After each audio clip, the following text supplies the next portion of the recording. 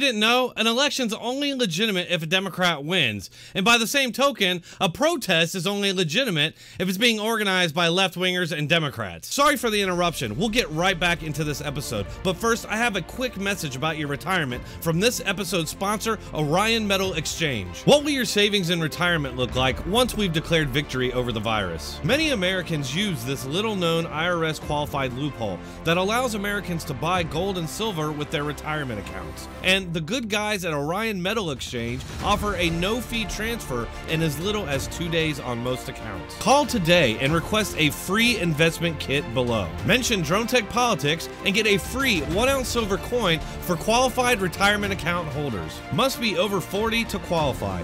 Call 866 915 5053 and get your free investment guide today. If there's one thing that proves that the DNC media has politicized this virus outbreak, it's the introduction of race into the narrative. I swear, from the beginning, all I heard was that this virus doesn't care about what political party you're a part of, but apparently it's racist and hates black people. Since the virus hates black people, well, then that must mean that white people are somehow to blame. Over at Deadspin, which is a left wing sports news outlet, self hating white guy Chuck Modiano claims that the protesters are illegally protesting and are somehow discredited because they're supposedly mostly white. As if being white somehow discredits the protest. This is a tactic that I've seen being used since at least the Obama administration, where the mostly white phrase was used regularly to discredit and attack the Tea Party protests. Aren't a lot of African American men at these events? right. Have you ever felt uncomfortable? No. No, these are my people. Americans. The implication being if there's a protest with a bunch of white people, it's racist. They're even helping to spread fake flyers and fake pictures of fake protesters in order to damage the movement. From the article, White wingers can hold up upside down flags, break the law, and endanger lives, but get viewed as patriots. When black people peacefully and legally protest, they are unpatriotic, subversive sons of bitches. And this double standard has long preceded Donald Trump. The article goes on, but this quote sums it up nicely. White working protesters bad, super rich, lying, victimized asshats good. The main thing I want to address here is his claims that these protesters are somehow breaking the law or endangering lives. I reached out to Mr. Modiano to find out why he's accusing these people of breaking the law when there's no evidence they have, but he hasn't responded yet. I will say though, he has responded to other questions I've asked him. I never once heard anybody accuse people going to the grocery store of endangering lives. And come to think of it, I'm not a scientist or a doctor, but I'm pretty sure that being in an enclosed space with 100 people is a hell of a lot more dangerous than being around 100 people in an open air area. These people are defending the Constitution and their livelihoods, so yes, they are patriots. Kaepernick, on the other hand, is a washed up millionaire who spreads misinformation with a highly publicized protest with the full backing of the mass media in Hollywood, who then claim anybody who criticizes Kaepernick is a racist. Nobody in the media ever questions Kaepernick's claims, even though they're highly dubious and in most cases utter fabrications. I mean, what I said was I agree with the investment in education.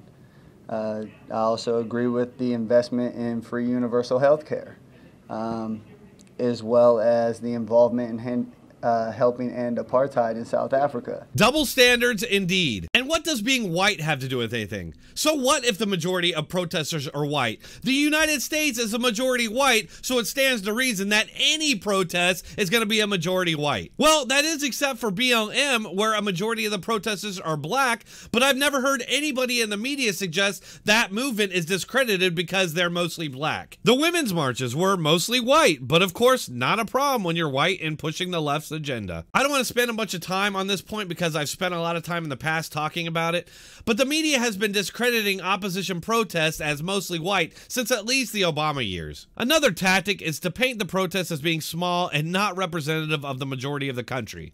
For example, this taxpayer funded piece of propaganda from NPR where they claim the rallies are sparsely attended, which flies in the face of reality when you do even the slightest bit of digging. One thing's for sure, they're definitely inspiring some murderous hatred in their base. Take this article, claiming that the protests aren't grassroots, thereby discrediting them. Of course, Democrat protests and rallies are also organized by these same kind of groups. The Women's March, for example, Anything but grassroots, but fully supported and promoted by the same people criticizing the anti lockdown protesters.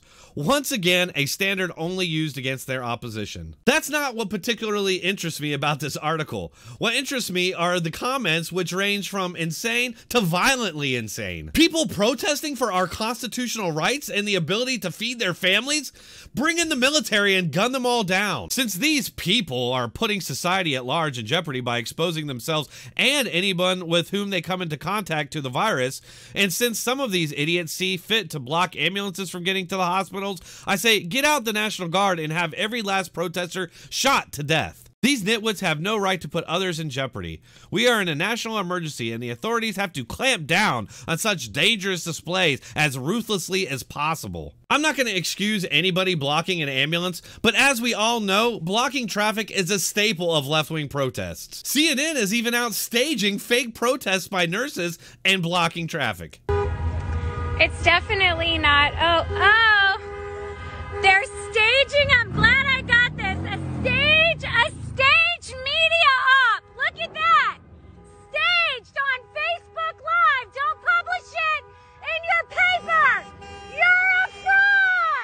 Folks, I understand this is just some guy on the internet, but he's getting a lot of support from other users, and get a load of this guy who comes in as the voice of reason. Quote, I don't think they should be shot for the moment. This is America. There are remnants of the rule of law. I do think they should be put in jail until trial. If they die of COVID while waiting on trial, I would not be sad. They are a danger and do need to be locked up until this is over. Are we really to believe these sociopaths aren't going to the grocery store to feed themselves, thereby endangering lives? Of course they are, but as we all know, it's different when they do it. The truth is, comment sections are toxic no matter where you go, but the sentiment I see being expressed in this one are becoming more and more mainstream. The only reason these people want to mass murder their fellow Americans is because they disagree with them politically. The coronavirus just gives them the rationalization that they need. Mark my words, this won't end well if we stay on this current path, and I don't see us coming off this current path.